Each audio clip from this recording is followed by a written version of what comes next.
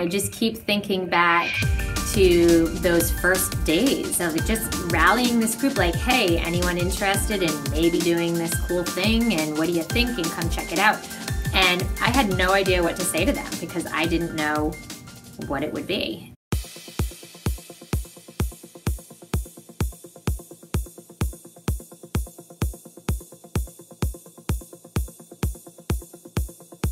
After the beginning of the conference, we learned about like the global goals and we from there we tried to figure out all the products and all the stuff we wanted to do and how to connect it back. So once we had that established, we just kind of took off from there with what we were trying to create. We're not quite sure at the minute what products to exactly make and if those products we had in mind were sustainable. So like started with just eggs and microgreens and a small chicken coop. And then we decided we wanted to expand, so we got a bigger chicken coop and we started coming up with different product ideas and kind of it went from there.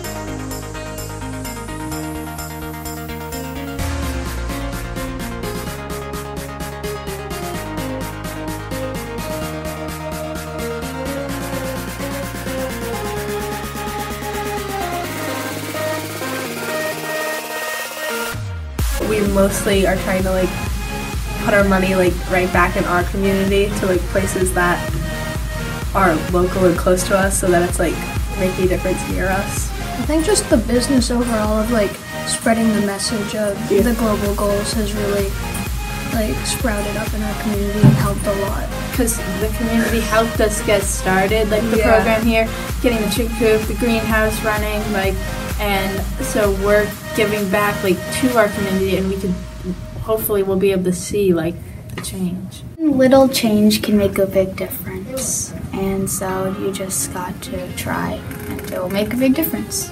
Yeah. Man, we're doing stuff here, but this is stuff that kids and other people are working on all over the world um, to reach one solid mission. To be a global citizen in the end was super powerful. And I love that not only did they make those connections, um, I'm making connections I had never made before as a learner, as a teacher, as a citizen of the planet.